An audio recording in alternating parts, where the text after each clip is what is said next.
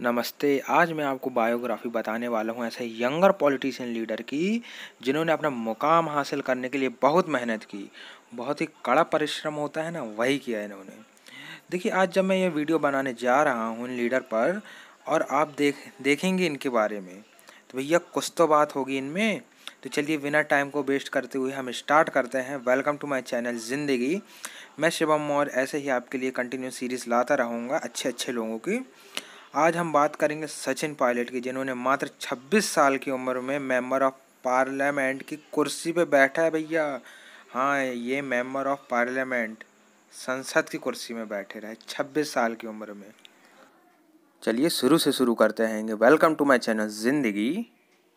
Subscribe and hit the bell icon for latest update Sachin Pilot का जो जन्म है, वो यूपी के सहारनपुर में हुआ था इन द ईयर 1977 आप देख सकते हैं यूपी के मैप में ये सहारनपुर। जी, ये जो रेड जो दिखा रहा है आपको, ये सहारनपुर है। इनके जो फादर थे, जो राजेश पायलट, जो पहले एयरफोर्स में थे, बाद में कांग्रेस लीडर बन गए थे। मतलब एक प्रकार से सचिन पायलट का जो पॉलिटिकल बैकग्राउंड था, यहीं से चालू हो गया।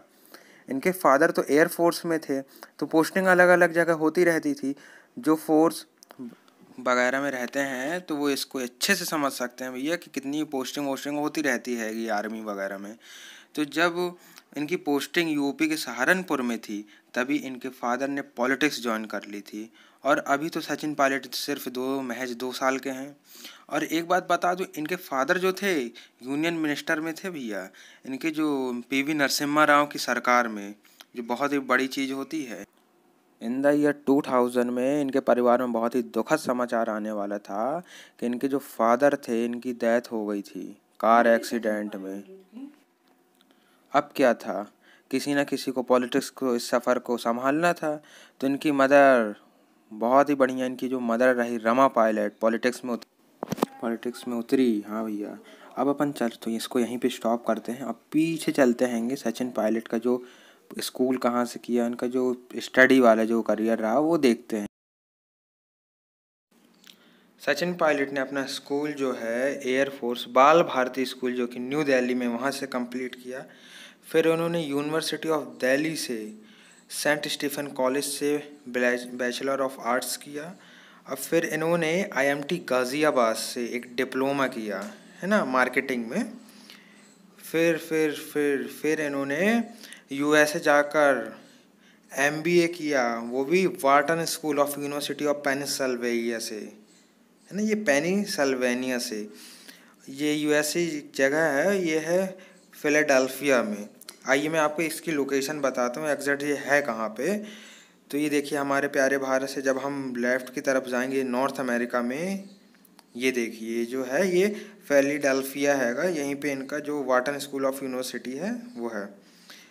फिर इन्होंने वहीं पे ब्रिटिश ब्रॉडकास्टिंग कॉरपोरेशन है, उसके लिए काम किया। फिर वो काम करने के बाद इन्होंने general motor company general motor company है, वहाँ भी इन्होंने काम किया जो कि ये जनरल मोटर जो कंपनी है, ये अमेरिका की मल्टीनेशनल कंपनी में से है। और इन्होंने वहाँ पे दो साल काम किया।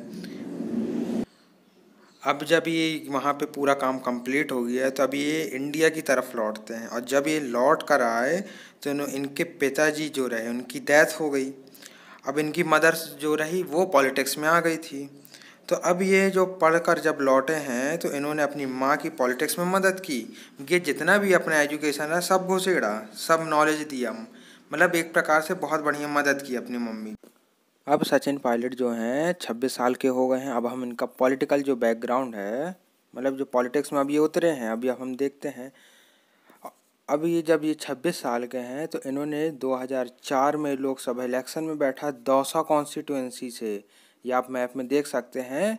और ये वहाँ से विनर हुए और ये यंगेस्ट एमपी ऑफ़ इंडिया बन गए। भैया सबसे मतलब जो युवा जो होते ना, वो बन गए ये।